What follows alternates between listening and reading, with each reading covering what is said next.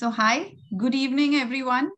Welcome to the conference. Together we can. And uh, I'm looking forward to the panel discussion that we're going to have today. Thanks for making it.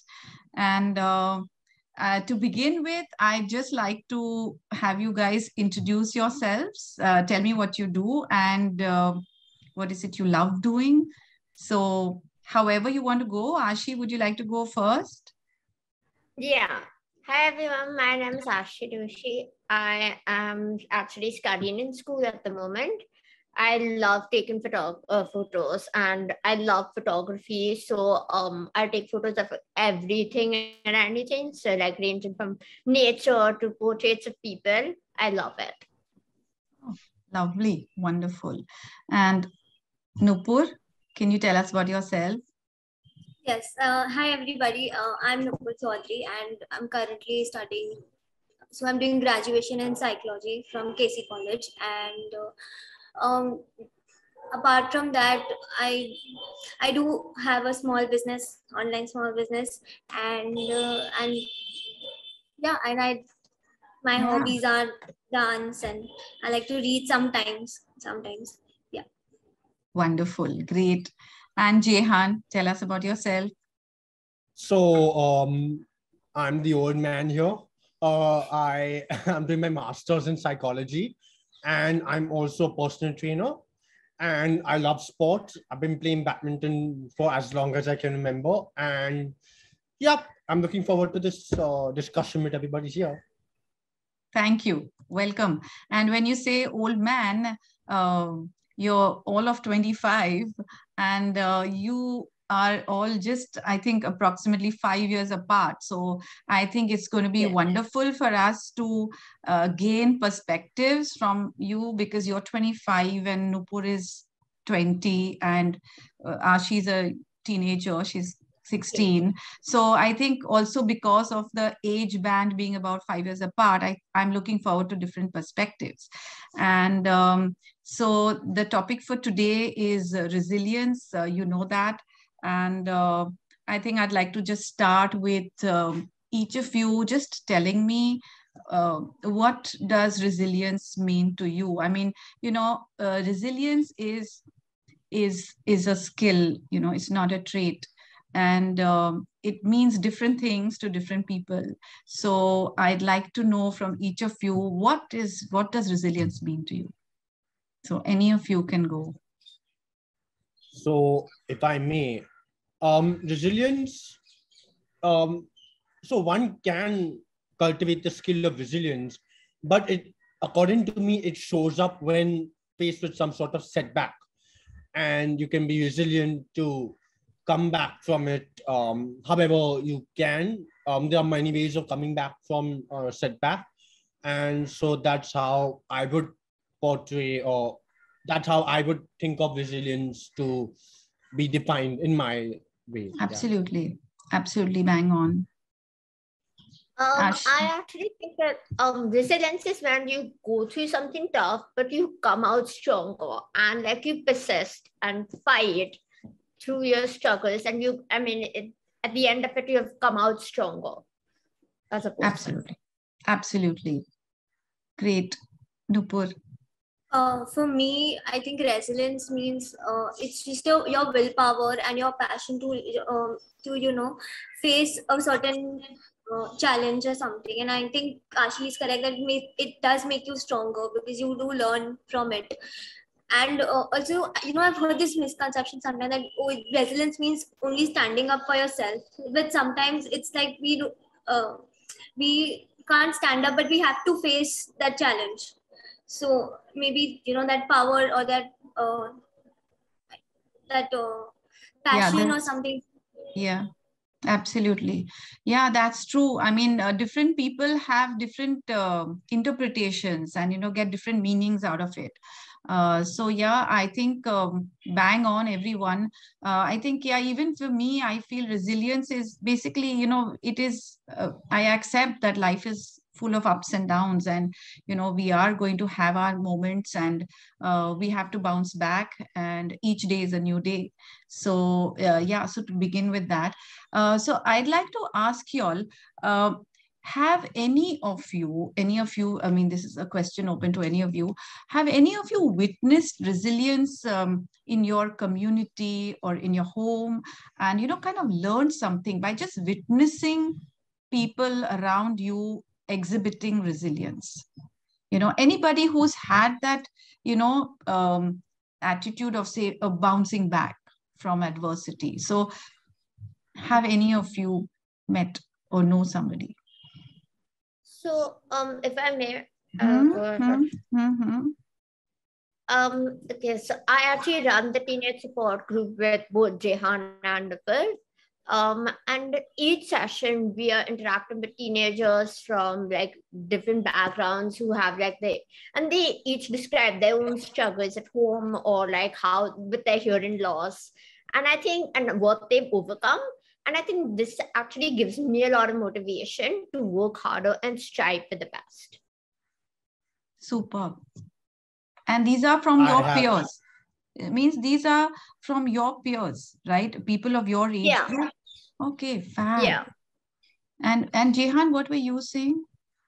Uh, I have no other example than uh, one Ashi gave. I think that's the perfect example to give uh, of resilience in people that we interact with um and so yeah i yeah, have no other example apart from that yeah. So tell me when you all are interacting with this group of people and uh, you are witnessing them you know exhibiting resilience uh, can you give me uh, an example of somebody or uh, like a, you know anything brief or something that has also inspired you you know when you've talked to anybody? Does any individual kind of stand out? You know what did anybody do that kind of really stood out you know where you felt that hey this person is uh, you know, very resilient nupur you want to say anything please yeah so uh, i think uh, being resilient i think we all have faced this is our mothers actually because if they wouldn't take a stand or they wouldn't be resilient for us today we would not be here yeah Absolutely. so um, Absolutely. I think, and, and uh, so one experience witness, I think my mom is the biggest uh, person who has who has resilience in her. I think from birth, she every moment she can stand, and I think I inspire uh, from her a lot. Yeah yeah yeah. Yeah you know that's right because uh, you know when we talk about individuals having challenges you know and we are looking for resilience in them that how are they going to bounce back? How are they going to manage their challenges? Uh but i think that even these individuals who have challenges when they're born like you know in uh, children with hearing loss. Uh, their parents have also had to pull up their and you know kind of pull out their own skills their own resilience to be able to you know bring up the children. So yeah that is something that actually goes unnoticed uh, so yeah that's a great one nupur. Um, uh, the other thing I wanted to say that, you know, in the last two years, the last two years of pandemic, it has been extremely challenging. And I think the last two years have uh, brought out resilience in all of us in different ways. So, is there anything that you feel like in the last two years that that has kind of stood out for you personally? Any incident, or it could have even been an one single interaction with somebody where you know you have kind of been resilient. Any any of you? Um. So actually, be, now that schools have moved online, so um, I would say initially like online school was tough for me. Like uh, for example, there were problems with Wi-Fi lagging, which made um in the teachers look difficult or following their lip reading cues was look difficult. Um, but I guess ha- over time it has become easier and i have been able to weather these challenges um, with the help of say a few extra classes and requesting the teachers to keep their cameras on um, these last few years have gone by pretty quickly and they've gone by comfortably Okay. But you know, sometimes, uh, Ashi, there could have been times when uh, individuals did, you know, we don't even realize that we are being resilient. You know, you just pick yourself up and you say, okay, okay, I got to do this, I got to do this. And you don't even recognize that actually you have used the skill of resilience. You know, like you said that yeah. uh, you know you requested the teachers to keep their cameras on and but because you tried different methods to keep bouncing back and to keep uh, coping with adverse situations you know you came Yeah. up with you came up with strategies to cope with an adverse situation and sometimes we don't even realize that we've just done that isn't it Mhm. yeah uh, anyone else in the last two years i mean it's been too challenging how how's I, it I act, I would actually agree with what you mentioned, Mala, about the not realizing that you're resilient uh, part. Because when I look back on my life, and I'm sure many people can relate to that, when we look back on our lives, we can actually see that, oh, I actually I actually overcame that. Oh, I did not know that.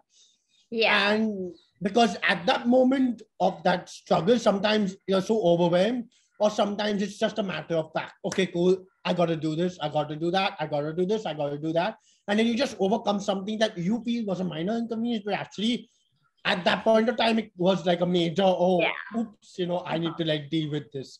yeah So I completely agree with that. That we don't give enough credit to people for overcoming what they think is minor, because in hindsight everything is like wonderful and you know, but at that moment it's like oh, you're it can be quite a tough time. Yeah, so I agree with that. Yeah. And you know, we don't realize when we have difficult situations and when we are coping, we cope, but we don't often stop to think of what skill we applied to be able to cope with that, you know. So it's sometimes nice to acknowledge that and give yourself a pat on the back and all that. yeah, yeah. so, um, but tell me, I mean, life uh, obviously has not been hunky dory, and all three of you would have had your sh- fair share of challenges. Um, Yeah. But we are all here today, uh, successful.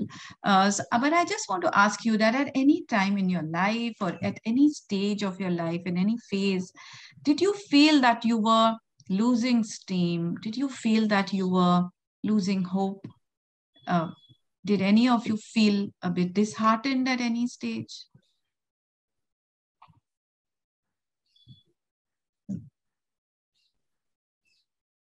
To be honest, I don't really think so because when I think that I'm say um if I feel like I'm losing steam or like if I'm like disheartened, um I push myself and I remind I remind myself of my end goals and like I said, I mean I'm a born fighter, so I know that I'm going to work through it. Oh, okay. Lovely. I love that. You're a born fighter. And yeah, but you said that, uh, okay, wonderful. Yeah. So you keep picking yourself up. Whenever there is something that disheartens you, you pick yourself up. So that's again your resilience. That's again your resilience. And, you know, because I think that envisioning your goals really pushes you a lot. Like when you've kind of created what, what your dream life is or what your goal is at the end of it, your destination, I think that makes it a lot more motivating to work harder. And it gives you that extra push. True. And would you share with us what your destination is? I don't really know, but I guess it's just to be happy and be content. Yeah, That's- I think uh, That may sound simple. That may sound simple, but I know it's a long journey. Yeah. Yeah. Nupur, what did you say? I'm sorry, I missed that. Yeah, I'm saying that. Yeah, I think Ashi is correct. That uh, so even that's what even I do. So if I feel that okay, how am I going to manage it? Like if I have assignments, so in my college they give assignments in a bulk and they expect us to complete all of them in a week. And sometimes I get stressed that okay, how am I supposed to complete this? But then I like okay, let's take it patiently one by one. Let's set our goals. Like how much are we going to complete when, and then we will deal with it. Like so that's what I think every time. That okay, it's a phase. It will go away you know maybe something more will come something good will come Yeah. Okay. Okay. Yeah. So you are using your skill set and you're using your personal know-how to be uh, to face your challenges or any difficult situation. And Jehan, anything you want to share about any any So, I moment, any time you were disheartened? I feel like, yeah, of course. I mean, uh, being disheartened, I feel is like part of human nature in a manner of speaking. That you can't have a hunky dory life. Absolutely. So um, I feel like in my own experiences, I've had like certain moments where I'm like, oh, I know how do I pull myself out of this? And um, I sometimes I don't have the skills, and that's okay. So therefore, I seek help uh, from a professional or like my family uh, to help me out of that situation. And um, so far, it's worked. And so yeah, just talk about it with someone, and you help yourself come out of it because we all need help from people and yeah. i feel like it's okay to sort of reach out and be like hey you know Absolutely. can you help me Absolutely. so that's how i sort of work on it yeah, yeah absolutely and you know uh, support is so critical because uh, uh, I think a lot of people who are resilient have spoken about the connections that they have with people that have helped them to you know overcome any challenges. It's like uh, you know there will be days when we are not feeling up to it you know and you don't you you are unable to bring up that skill or that fighter spirit or something.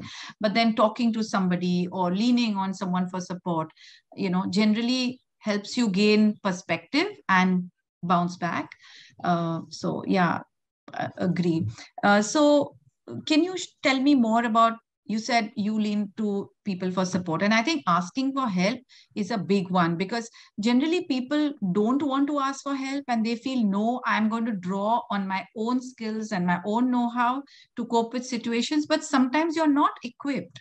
You know you, you may not always be equipped. So it's okay to learn from others and take support.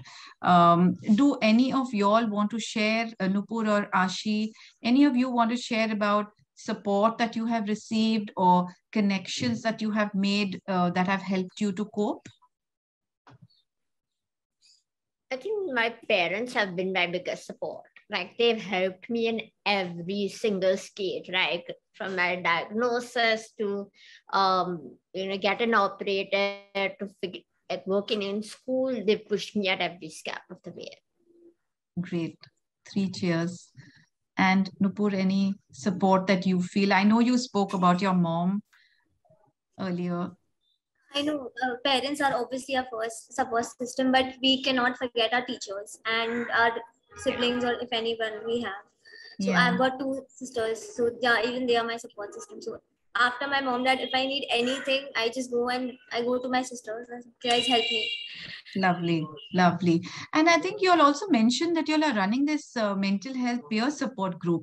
So do you really feel that you all are able to establish connections and you know help each other cope and build resilience with each other in that peer support group because see you all have no connection with these people.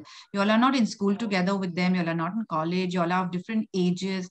So are you all able to build a peer support uh, with this group? Yeah. yeah? Yeah we are. We've spoken about a lot of different struggles i think one common struggle we've had is that now with this whole going back say for example going back to school every everybody's masked up. So I personally rely, and I know a lot of other hearing impaired kids rely on lip reading. So one session we just spoke about like how to overcome those kind of challenges. How do you kind of I guess go with that. Yeah, yeah, yeah. That's very critical because the last two years have been a huge challenge for individuals who rely on lip reading. Unfortunately, we're not even able to find the right masks for them. So let's just hope uh, this pandemic is behind us soon. And you know people have not realized how challenging it is for people with hearing loss. I mean the world has not realized. Nupur you put your hand up for something.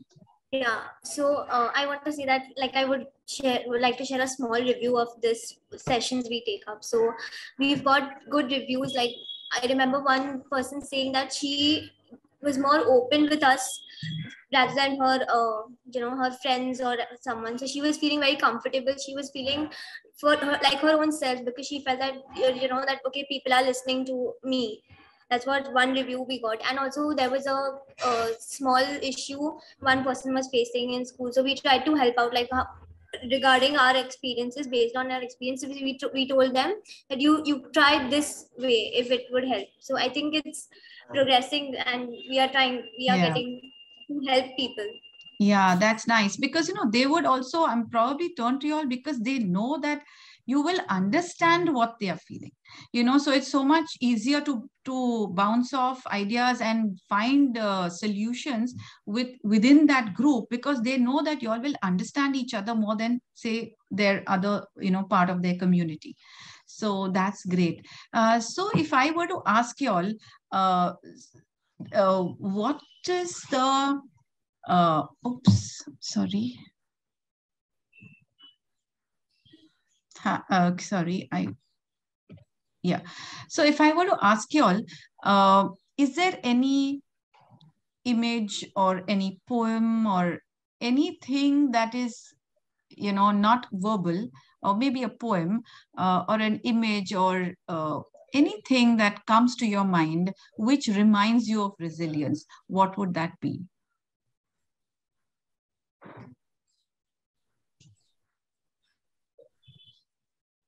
So in my eyes, it would not be an image or a poem or something like that, but it would rather be a person that I think of often. Lovely. Um, because I think the best way to sort of inspire is through stories, and what's a better story than someone's real life?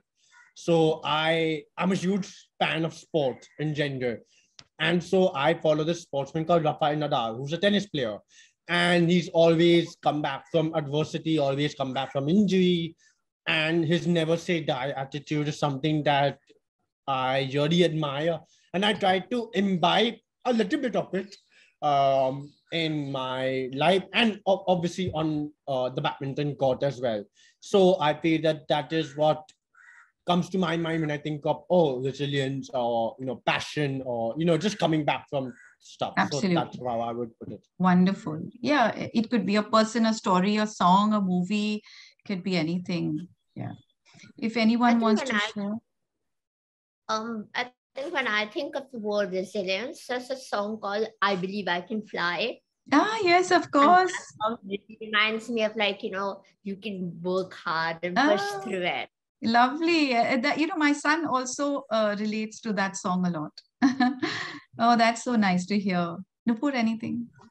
Yeah, I think uh, there's one song called Hall of Fame where um, it it mentions all the problems and then says that oh you can you can go through this, you can go through this. There's a song. Yeah. So I think that comes into my mind. Yeah, lovely. I think as an uh, for me it's an image, you know, of the sunrise. You know, each day when I see the sunrise, I'm like, yay, new day, bounce back you know back to life kind of thing. So yeah so i'm uh, we we are done with our questions for today. And um, thank you so much for the honest sharing. Um, is there anything uh, you know before we wind up is there anything that any of you want to say as a message you want to pass on to the audience? Please feel free before we wind up. I guess I think, never give up like never give up and just push through it because it's going to get better. And um just have faith in yourself. Yeah true. Absolutely. That's that's our warrior speaking isn't it? Oh that's also, uh, wonderful. Uh, and also i think uh, that we should stand up if we feel that something is right yeah. for ourselves. Yeah that is true. That is true that's I guess my message would be to like, I know it's like completely contradictory, but yeah, to kind of be kind to yourself. And mm. it's okay to like feel down about things and all. And yeah. it's fine. So to be kind to yourself and not to be too harsh on yourself. You're a human being after all. Yeah. So yeah. Yeah. Wonderful. I, I mean, brilliant great messages all of you uh yeah so a lot for me also to chew on and to take away from here. Uh, so I just want to say thank you so much for being a thank part you. of this discussion for Together We Can. And uh, thank you for making it. And hope to see you soon. Thank you. Yeah. Bye.